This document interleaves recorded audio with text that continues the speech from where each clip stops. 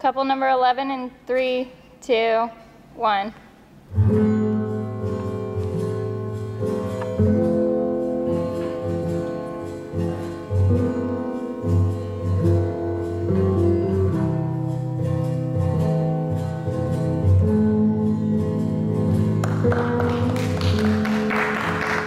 Thank you.